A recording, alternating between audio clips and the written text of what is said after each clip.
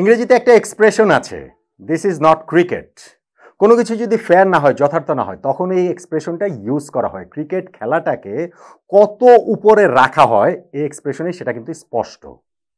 তো বাংলাদেশ, ভারত নারীদের ক্রিকেটের যে তৃতীয় ওয়ানডে ম্যাচটা হলো, সেই ম্যাচ চলাকালীন সময় এবং ম্যাচ শেষের পুরস্কার বিতরণীতে এবং এরপরেও বাংলাদেশ টিমের সেলিব্রেশনে গিয়ে ভারত দলের অধিনায়ক হারমানপ্রীত কৌর যেই কাজগুলো করলেন, সেগুলোকে কি বলবেন?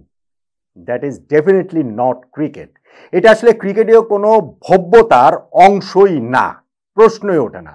ভদ্রলোকের খেলা ক্রিকেট, ভদ্র মহিলাদেরও তো খেলা। হারমানপ্রীত কৌর এই ম্যাচটাতে যা যা করেছেন, সেটা আসলে সকল কিছু সীমানা ছাড়িয়ে গেছে। আমি নারীদের ক্রিকেট, পুরুষদের ক্রিকেট মিলিয়ে বলছি যে, আধুনিক ক্রিকেটে আম্পায়ারিং নিয়ে এই রকম কথাবার্তা খুব বেশি ঘটনা ঘটেছে বলে আমার অন্তত খুব মানে অত বেশি আসলে মনে পড়ছেন না। ঘটনায় কি ঘটেছে? একটা হচ্ছে কি যে ভারতের যে দলটা এসেছে, সেই দলটা ভীষণ শক্তিশালী দল। তারা বাংলাদেশের বিপক্ষে টি টোয়েন্টি সিরিজটা জিতেছে, কিন্তু একটা ম্যাচ হেরেছে। সেটাই তাদের জন্য শকিং ছিল। এবং আরেকটা ম্যাচও বাংলাদেশ জিততেই পারতো। সেটাও তাদের জন্য বিরাট শকিং ছিল। ওয়ান ডে সিরিজটা তারা শেষ পর্যন্ত জিতে বেরিয়ে যেতে পারেনি। এই থার্ড ওয়ান ডে ম্যাচটা কিন্তু বাংলাদেশের মেয়েরা, বাংলাদেশের টাইগ্রেসরা বাংলাদেশের বাঘিনীরা টাই করেছে। সিরিজ এক এক সময় শেষ হয়েছে। আমরা তো প্রথম ম্যাচটাও জিতেছিলাম। ফলে এইটাও নিশ্চিতভাবে ভারতীয়দের অহংয়ে লেগেছে।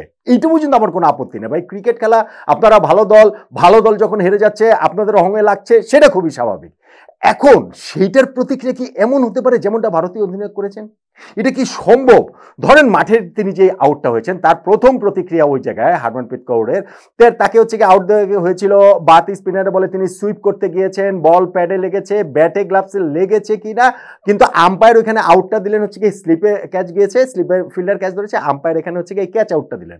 এখন ধরেন এই সিরিজে ডিআরএস নেই, যদি এই সিরিজে ডিআরএস থাকতো, তাহলে এই সিদ্ধান্তটা ডেফিনেটলি তিনি চ্যালেঞ্জ করতেন রাইট তিনি চ্যালেঞ্জ করার পর কি দেখা যেত? তিনি হয়তো আমরা টিভি রিপ্লেতে দেখে শিওরলি এটা বোঝা যায়নি যে তার ব্যাটে কিংবা গ্লাভসে লেগেছে কিনা।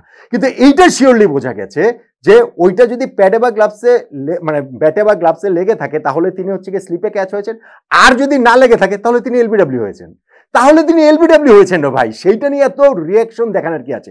সেই কৌর প্রথম রিয়াকশনটা দেখালেন, এক হাত দিয়ে আরেক হাতে বাড়ি মারলেন, এরপর ব্যাট দিয়ে ছুড়ে মারলেন স্ট্যাম্প ভেঙে ফেললেন, তারপরে বেরিয়ে যেতে যেতে আম্পায়ারের সঙ্গে উত্তপ্ত বাক্য বিনিময় করতে লাগলেন, দর্শকদের দিকে তাকিয়ে থামস আপ দিতে লাগলেন।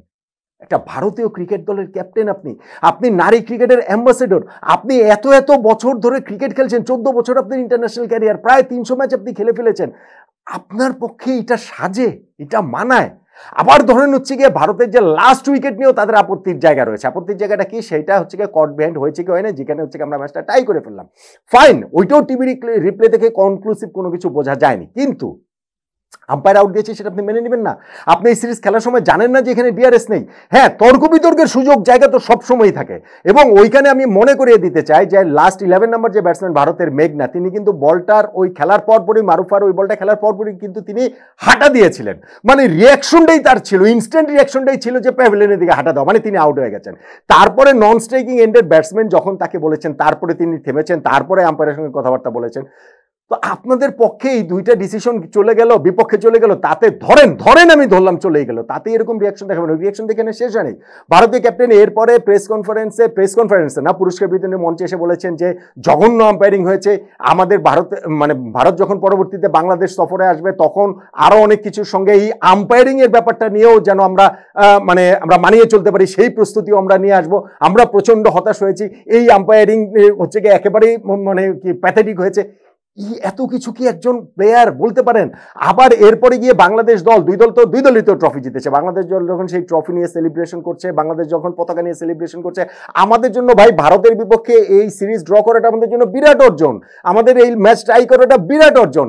আমাদের মেয়েরা সেটা যখন সেলিব্রেট করছে, তখন আবারও সেই সেই হারমানপ্রীত কৌর, তিনি আবারও হচ্ছে গিয়ে এই কি বলছিল, বাংলাদেশের মেয়েদের দিকে তাকিয়ে বলছিলেন যে, তোমরা তো ম্যাচ জিতনি ম্যাচ জিতিয়েছে আম্পায়াররা সো আম্পায়াররাও তোমাদের ফটো সেশনে নিয়ে নিও দর্শকদের দিকে তাকে আবারও থামস আপ করছিলেন, আবারও দর্শকদের উস্কে দিচ্ছিলেন।